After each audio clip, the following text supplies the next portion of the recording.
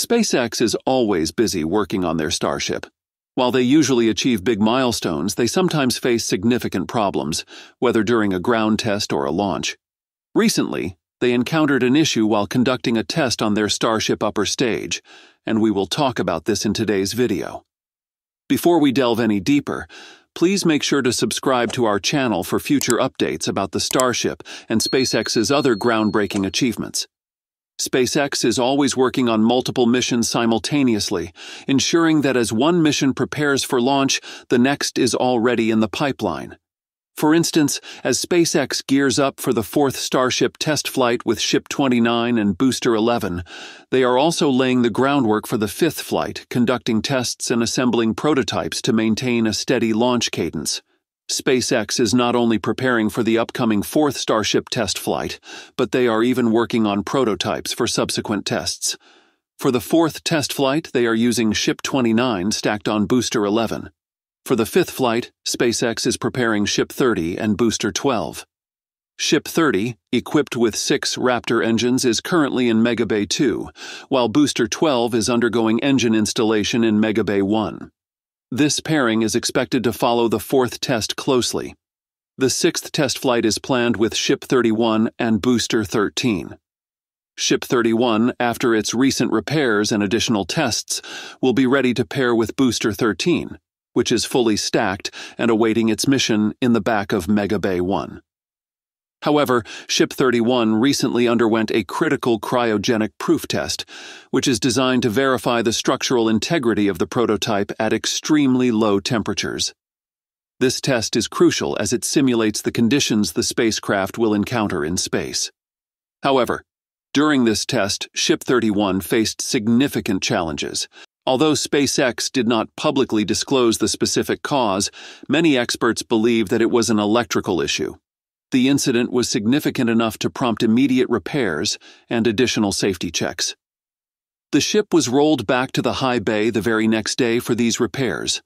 Once the repairs and additional tests are completed, Ship 31 will be paired with Booster 13.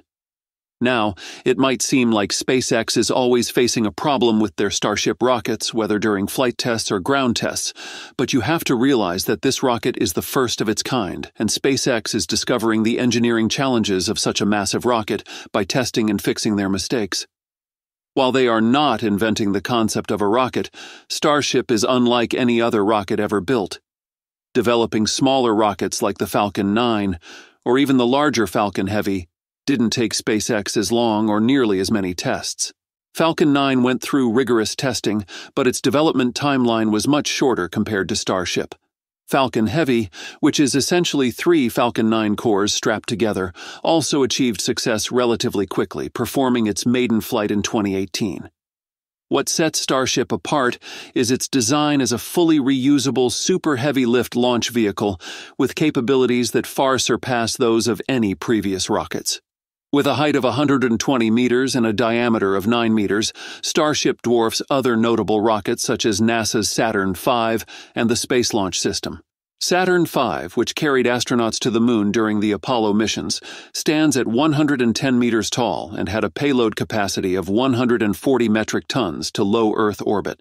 The Space Launch System, or SLS, is slightly shorter at around 98 meters in its Block 1 configuration and can carry 95 metric tons to low Earth orbit.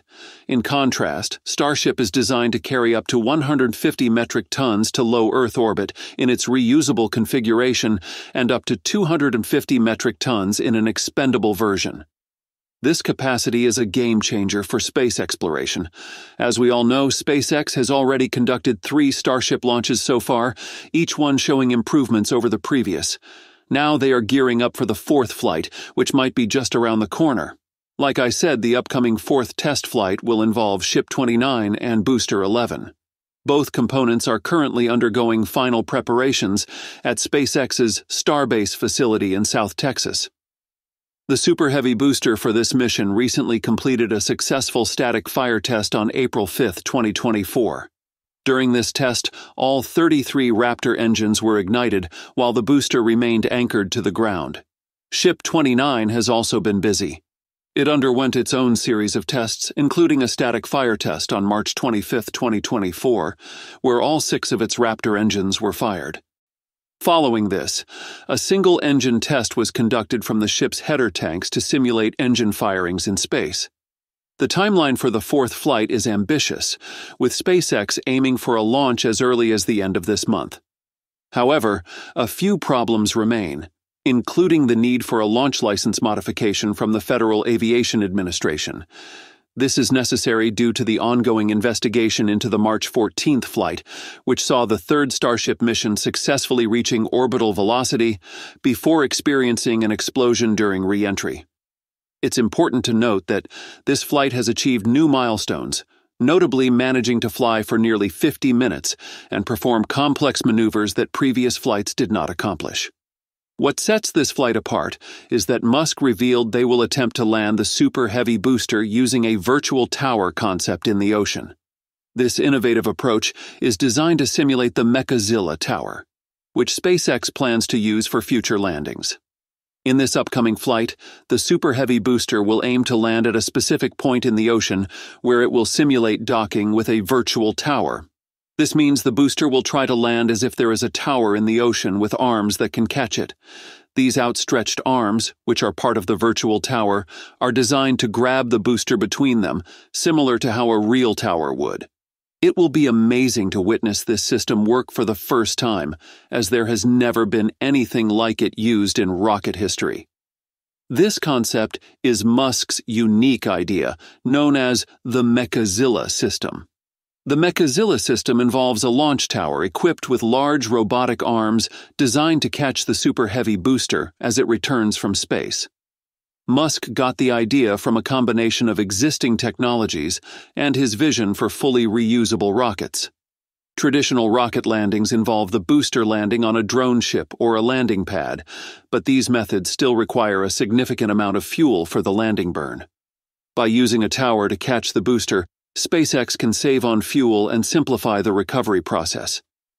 The concept of Mechazilla involves the booster descending towards the launch tower, where the robotic arms would move into position to catch it. This requires precise control of the booster's descent and the ability of the arms to secure the booster safely. The system aims to grab the booster by its grid fins, which are the aerodynamic surfaces used for steering during descent. Once caught, the booster can be quickly prepared for another launch, significantly reducing the turnaround time between missions. By developing a system that can catch and reuse boosters rapidly, SpaceX hopes to reduce the cost of access to space. And that's all for today's update. If you enjoyed watching and found it useful, please make sure to subscribe to our channel and hit the like button. Thanks for watching, and I'll see you in the next one.